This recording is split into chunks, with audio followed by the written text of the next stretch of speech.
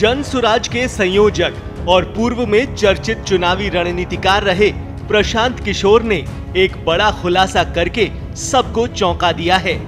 दरअसल, बिहार में 13 नवंबर को होने वाले चार विधानसभा सीटों के उपचुनाव के दौरान एक जनसभा में उन्होंने ये बात खुलकर कह डाली कि जब वो चुनावी रणनीतिकार की भूमिका में रहे थे, तब वो किसी भी पार्टी या नेता को एक चुनावी सलाह देने के लिए 100 करोड़ रुपए या उससे ज़्यादा की कीमत फ़ीस के तौर पर वसूलते थे।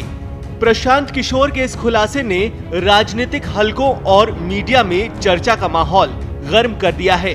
प्रशांत किशोर ने कहा है कि प्रशांत किशोर की बनाई हुई सरकार 10 राज्यों में चल रही है।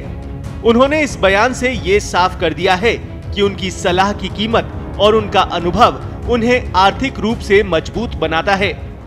जन सुराज पार्टी के प्रमुख होने के बावजूद, प्रशांत किशोर ने यह भी कहा कि उनके पिछले काम ने उन्हें वित्तीय रूप से आत्मनिर्भर बनाया है। वो अपने अभियान के लिए दो साल तक टेंट और तंबू लगाकर काम कर सकते हैं और फिर किसी एक चुनाव में जाकर किसी भी पार्टी को सलाह देकर एक ही दिन में उनका पूरा खर्च भी निकाल सकते हैं। उन्होंने ये भी बताया कि उनकी रणनीति और उनके अनुभव का महत्व कितना ज़्यादा है। इस बयान ने राजनीतिक विश्लेषकों और विरोधियों के बीच चर्चाओं को जन्म दे दिया है। समर्थकों का मानना है कि ये प्रशांत किशोर की ईमानदारी और आत्मविश्वास को दर्शाता है, जबकि कुछ लोग इसे एक रणनीति के रूप में देख रहे हैं, जिससे वो अपने समर्थकों में विश्वास और उत्साह बढ़ा सके। इसके अलावा 100 करोड़ रुपए जैसी बड़ी फ़ीस की बात करना उनकी ब्रांड वैल्यू और उनके काम की उच्च मांग को दर्शाता है। प्रशांत किशोर का ये खुलासा उस समय आया है जब उनकी जन सुराज पार्टी पहली बार चुनावी मैदान में उतरने जा रही है।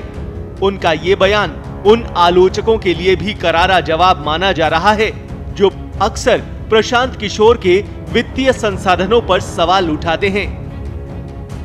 वैसे आपको बता दें कि बिहार की चार सीटों, बेलागंज, इमामगंज, रामगढ़ और तरारी सीट पर जन सुराज के उम्मीदवार मैदान में उतारे गए हैं ऐसे में प्रशांत किशोर का ये बयान उनके अभियान को और भी खास बना रहा है कुल मिलाकर प्रशांत किशोर का ये ताज़ा खुलासा न केवल उनके अभियान की मज़बूत नींव को दिखाता है, बल्कि ये भी बताता है कि वे राजनीति में एक अलग और प्रभावशाली भूमिका निभाने के लिए तैयार हैं।